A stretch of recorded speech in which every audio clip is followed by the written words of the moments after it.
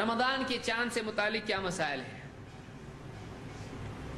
شابان کی انتیس تاریخ کو بادل کی وجہ سے اگر ہلال نہ دکھائی دے تو کیا کریں؟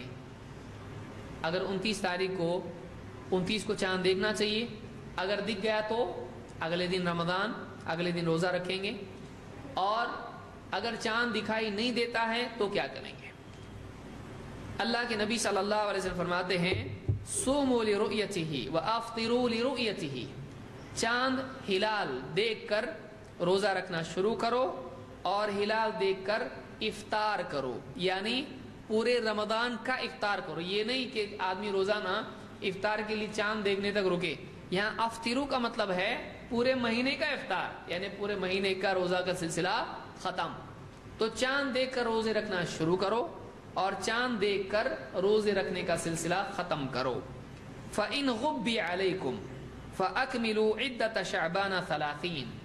فَإِنْ غُبِّ عَلَيْكُمْ اگر آسمان میں غبار کی وجہ سے یا مسلم کے الفاظ ہیں غمی علیکم بادل چھانے کی وجہ سے اگر تم کو چاند دکھائی نہ دے۔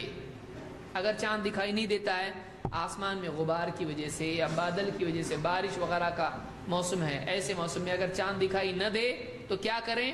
آپ نے فرمایا، فَأَكْمِلُوا عِدَّةَ شَعْبَانَ ثَلَاثِينَ تو تم شعبان کے مہینے کے تیس دنوں کی گنتی پوری کرو۔ یعنی چاند دکھنے میں اگر شک ہو، نہیں دکھا چاند، تو پھر ایسی صورت میں کیا کرنا چاہیے؟ تیس دن شعبان کے مکمل کرنا چاہیے۔ احتیاطی روزہ نہیں رکھ سکتے۔ ہیں اس کو امام البخاری مسلم دونوں نے روایت کیا ہے۔ تو انتیس کو چاند دکھائی نہ دے تو تیس کی گنتی پوری کریں۔